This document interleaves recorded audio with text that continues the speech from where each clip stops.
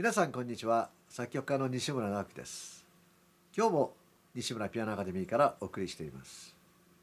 今日2018年5月30日水曜日。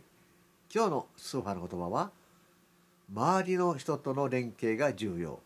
周りの人との連携が重要。そして今日の BGM は NHK 心を旅する四国88箇所伊予の道場。第63番札所吉祥寺の曲をお送りしています。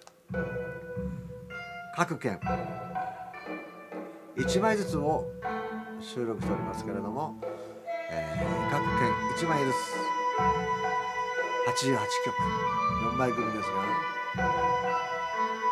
DVD も NHK エンタープライズから発売されております。ぜひ手に取ってですね見て聞いていただければと思います。7年半かかって作曲した。各お寺のテーマ曲です。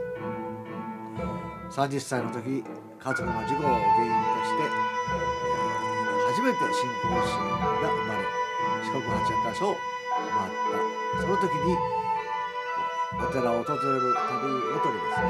メロディーが湧いてれをまあ作曲した曲です。それでは今日一日が皆様にとって素晴らしい一日でありますように。